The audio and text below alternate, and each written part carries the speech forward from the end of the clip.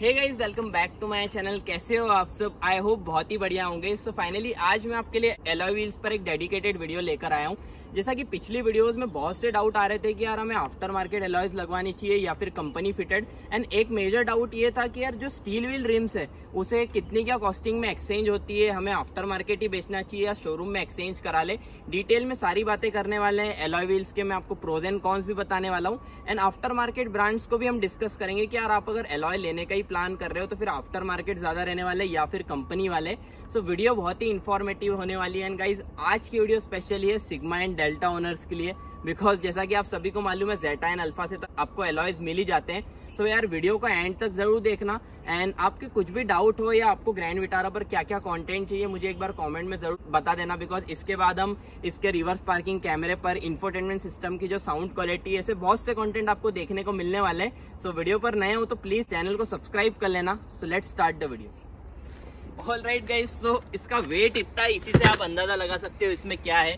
इसमें steel wheel rim जैसा कि मैंने शोरूम से एलॉयस फिट करा है जेटा वेरिएंट वाले जेटा एंड अल्फ़ा में यही वाले मशीन कट एलॉय व्हील्स आते हैं। इसकी प्राइसिंग आपको पड़ने वाली फिफ्टी थ्री थाउज़ेंड रुपीज़ इसे मैंने विदाउट एनी एक्सचेंज लगवाया है मतलब सिर्फ़ एलॉय व्हील्स की प्राइसिंग थी fifty three thousand rupees and अभी आपको नेक्सा की तरफ़ से दो एलॉय व्हील्स मिलेंगे स्पेशली अगर ग्रैंड विटारा की बात करें। एक तो ये मशीन कट होगा जिसकी प्राइस है fifty three thousand rupees and अगर आपका बजट थोड़ा कम है या अगर आपको ये वाले एलॉय व्हील्स पसंद नहीं है तो आप फिर जा सकते हो सिल्वर वाले एलॉय व्हील्स के लिए।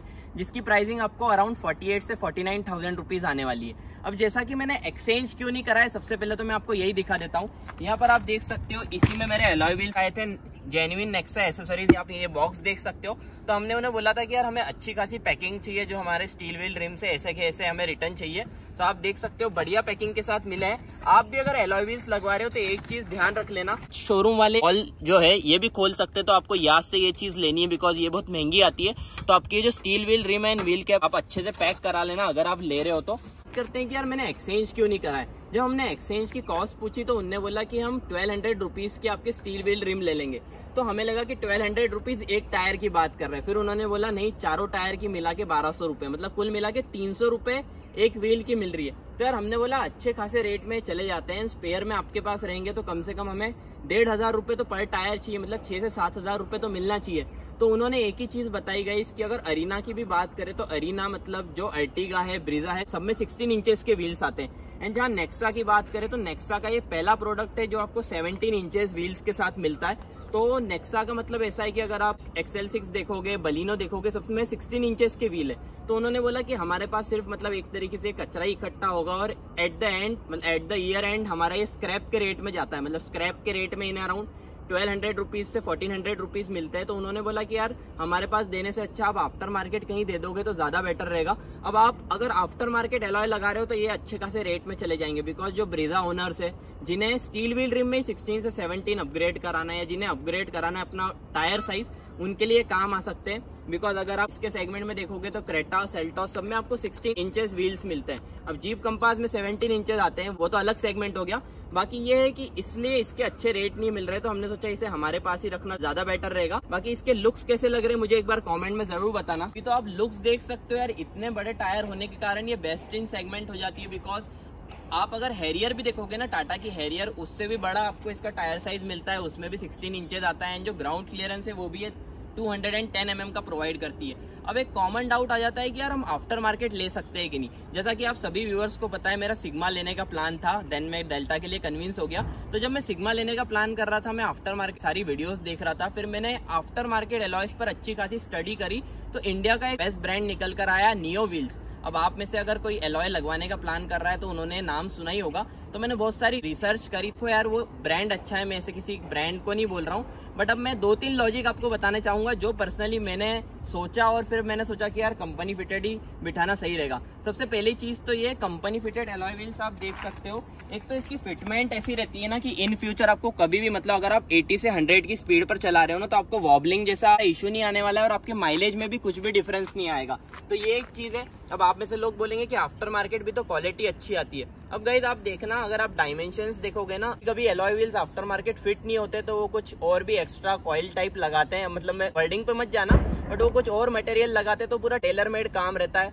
बहुत से लोग टायर भी अपग्रेड कराते हैं। मेरा कहना यही है कि अगर आप आफ्टर मार्केट लगवाने जाओगे तो पैंतीस से चालीस हज़ार रुपए में आपका काम हो जाएगा। बट मेरा कहना यही है कि यार कंपनी फिटेड लगाओगे तो बढ़िया चीज़ रहेगी। अब दूसरा सबसे इम्पोर्टेंट लॉजिक जो मैंने लगाया, अब जैसे कि गाइस फॉर एग्ज़ाम्पल मैं जेटा ओनर हूँ। अगर मैं जेटा या अल्फ़ा ग्रैंड विटारा लेता हूँ तो ये एलॉयज उसमें आने वाले हैं। तो कोई बेवकूफ़ी होगा या फिर मॉडिफिकेशन शौकीन होगा जो कंपनी फिटेड एलॉयज को खोल के आफ्टर मार्केट लगवाएगा। तो अगर ये गाड़ी जा रही है साइड प्रोफ़ाइल से तो हर कोई यही समझेगा कि ये टॉप मॉडल है।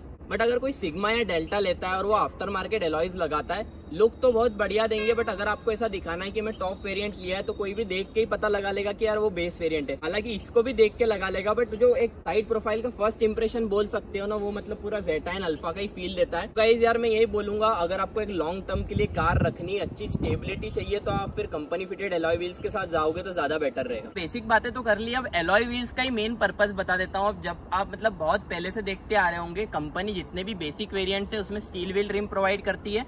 एंड अपर वेरियंट्स में आपको प्रोवाइड करती है एलॉय व्हील्स तो एलॉय व्हील्स कंपनी लुक के लिए प्रोवाइड नहीं करती, उसके दो तीन एडवांटेज रहते हैं। सबसे पहली चीज़ तो ये, अगर आप स्टील व्हील रिम के, अगर एक टायर के स्टील व्हील रिम को देखोगे एंड एलॉय को देखोगे ना तो एलॉय कंपेरेटिवली बहुत ही हल्का होता है। अब देखो आपके स्टेबिलिटी पे तो फ़र्क पड़ेगा बट इतनी भारी गाड़ी है तो आपको 20-50 किलो से वो फ़र्क नहीं पड़ने वाला।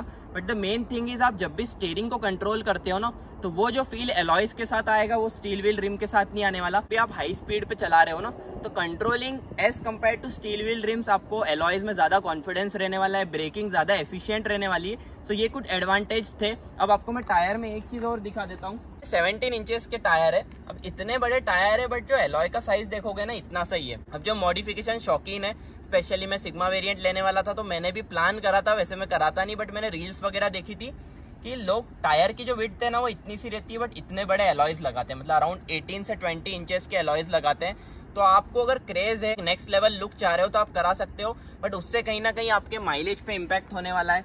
आपका माइलेज ड्रॉप होगा स्टेबिलिटी बिगड़ेगी एंड कहीं ना कहीं फिर वॉबलिंग इश्यूज़ भी आ सकते हैं। इस काम चाहिए 120 140 भी चला रहे हो कि आपको कोई भी स्टेबिलिटी से रिलेटेड इशू ना आए माइलेज से रिलेटेड इशू ना आए, और लॉन्ग टर्म क्लियर है। मतलब जैसे कि इतनी हाई क्लियरेंस वाली गाड़ी है तो आप ऑफ़ पर भी जाओगे तो कंपनी फिटेड एलॉयज ये जो मशीन कट एलॉय व्हील्स है, उसके साथ आपको कुछ भी दिक्कत नहीं आने वाली। कंक्लूजन की ओर बढ़ते हैं। सो so गाइज़ अगर आप चाह रहे अलॉय व्हील्स लगवाना तो आफ्टर मार्केट जा सकते हो बट अगर आपको एक लॉन्ग टर्म के लिए अच्छा काम चाहिए तो मैं ये बोलूँगा शोरूम फिटेड एलॉय व्हील्स लोगे तो ज़्यादा बेटर रहने वाला है टॉप मॉडल वाला लुक भी देना है तो मशीन कट एलॉय व्हील्स के साथ जाओ। एक्सचेंज वाला डाउट भी मैंने आपके साथ शेयर कर दिया कि आपको अभी शोरूम में कॉस्टिंग नहीं मिलेगी बिकॉज़ एलॉय पे भी डिस्काउंट नहीं मिलने वाला एलॉयज ही इतने वेटिंग में, अगर आप सिग्मा ले रहे हो तो आपको मतलब मुश्किल रहेगा, अभी स्टॉक ही नहीं आ रहा है, ना गाड़ी का, ना एलॉयस का। तो एसेसरीज में भी थोड़ी शॉर्टेज चल रही है।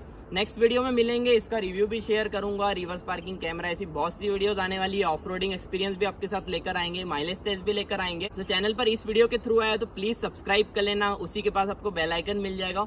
उसको प्रेस कर लेना, जिससे आपको मेरी सारी लेटेस्ट वीडियोज़ के अपडेट मिलते रहेंगे।